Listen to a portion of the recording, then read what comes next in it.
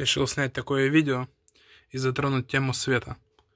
Потому как у меня спрашивают в комментариях, я понимаю, что, наверное, требуется ответить.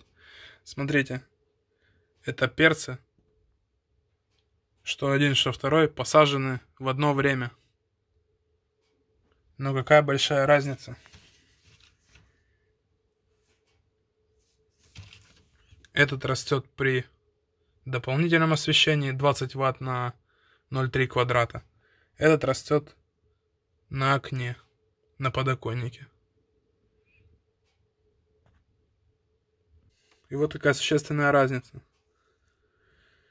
Да, у нас тут есть уже настоящие листья, но за полтора месяца это очень мало. Вот как примерно должен выглядеть перец. И то, если бы я поставил 30 ватт, этот перец был бы еще выше. То есть он немножко больше должен быть. Сейчас я вам покажу, какое освещение на подоконнике. И вот смотрим. 130. Даже если мы датчик обратим к солнцу, ну, 180 поймаем. 190. Ну, пускай даже 200 округлим в большую сторону. Вот они не растут здесь.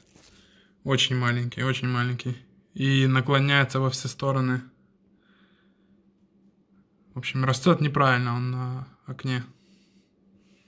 Сейчас покажу, сколько у нас при свете. 5200. И так же самое, если будем обращать к свету, будет больше. Понятно, что в разных местах разные значения, то есть отдаленно 3000. Если листья развернутся к солнцу, будет чуть больше. В общем, 5, 8,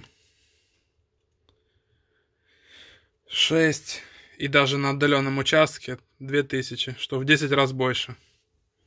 Собственно, потому у нас и такая разница огромная.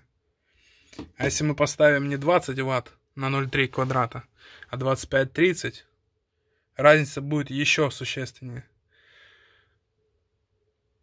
Тут и следует такая реакция, что если у вас нет возможности досвечивать, то рано перец не садите. Садите его хотя бы в марте. Потому что будет вот такое подобие перца. Тяжело назвать, конечно. Ну, очень хило растет.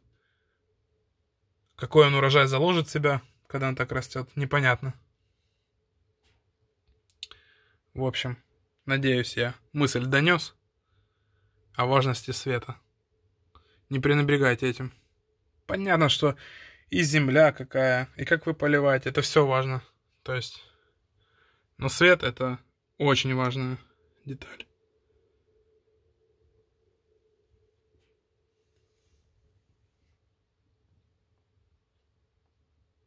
Все, друзья. Всего доброго, до свидания.